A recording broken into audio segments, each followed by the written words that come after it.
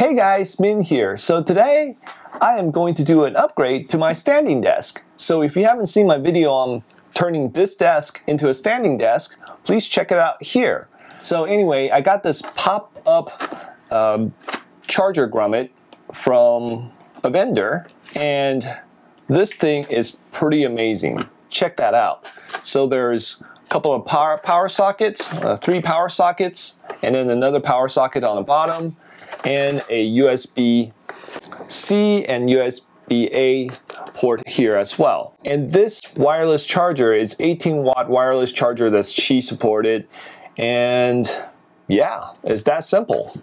All right, the only challenge so far I've reached is that this is a 4.7 inch or 120 millimeter hole size versus my old power grommet it's about three and a one eighth inch hole size so when I try to put this there it's definitely much bigger I need a bigger hole so I am going to got a new uh, hole maker hole drill so I'm gonna go and drill out that hole. So let's get started.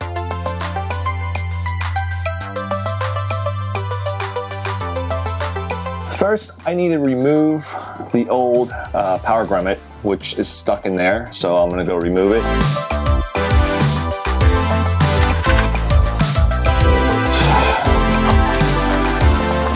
Go. All right, so that's removed. Okay, so put the new drill bit on.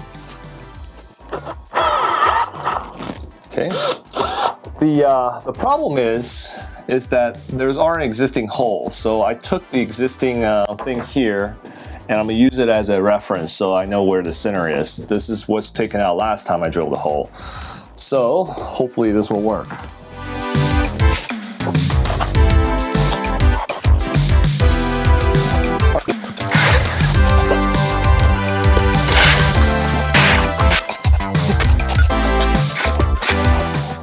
All right, so the hole's now drilled. So I'm gonna put this thing in there and hopefully it'll fit perfectly. Perfect.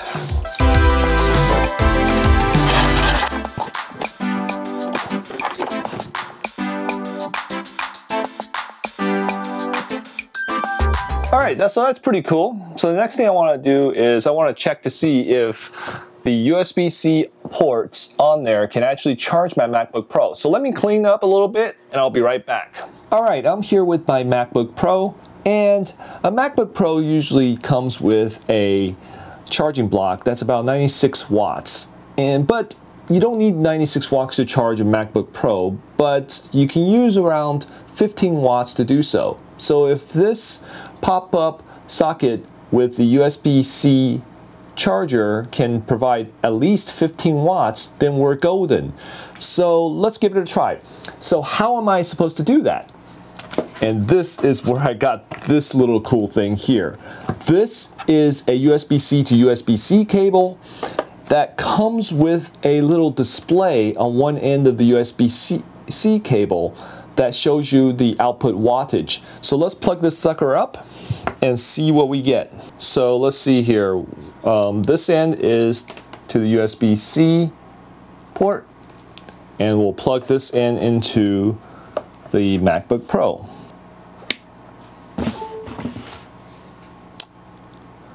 Fifteen watts. Oh, 18 watts. So look at that. We can charge at 18 watts. And on the MacBook Pro itself, we are seeing a little charging icon there, right here. So it's showing that it's charging. So that's pretty cool. So the next thing I want to do is, since there's a USB-C and a USB-A port on that charger, I want to see if I can also charge my iPad. So if I plug in my iPad, will it still charge my MacBook Pro? So let's give it a try. Okay, I got a USB-C to USB-A cable. I'll plug it in. This one doesn't have a display, so we'll see.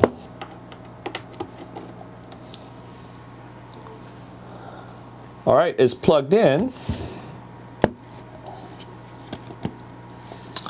And the iPad shows that it is charging. However, it shows only 7 watts here on the MacBook Pro and the icon now changed from a lightning basically meaning charging to a plug. So what this tells me is that these two ports are shared. So the maximum power output is around 18 watts. So I unplugged the uh, USB-A here and immediately it jumps to back to 18 as well.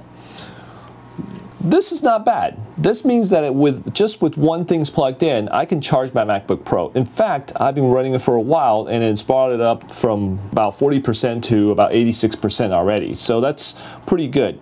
And also in addition to that, the 18 watts is actually plenty enough to charge fast rate for the iPhones, the iPads. In fact, my iPad 11 Pro comes by default with this little charger that is also 18 watts. So, and, and the iPhone 11 comes with only a 3 watt charger. So that means the 18 watts is plenty, plenty, plenty for what we need, most cases. So with that said, I think this is a pretty cool pop-up socket charger. So if you have any questions about it, please leave it in a comment below. And if you like this video, if you like the similar content, please give me a thumbs up and I will see you next time. Bye!